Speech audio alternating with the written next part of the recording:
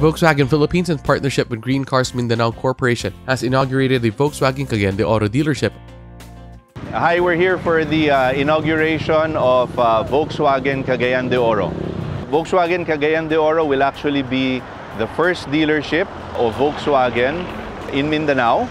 So we're very excited at this event. Uh, we like Cagayan de Oro because we think it's a gateway into Mindanao that will allow more Mindanaoans the opportunity to experience Volkswagen vehicles and the Volkswagen driving experience.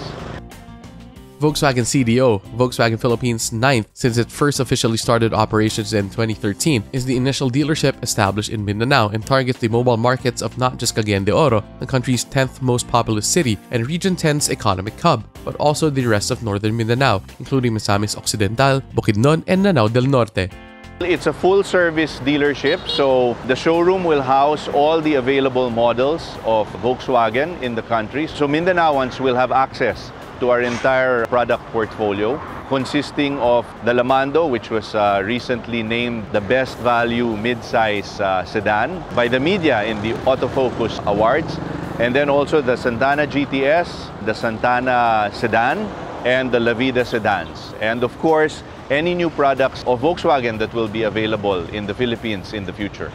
Aside from the showroom, there's a complete service area so that of course our customers will be able to receive the after-sales support uh, that's needed.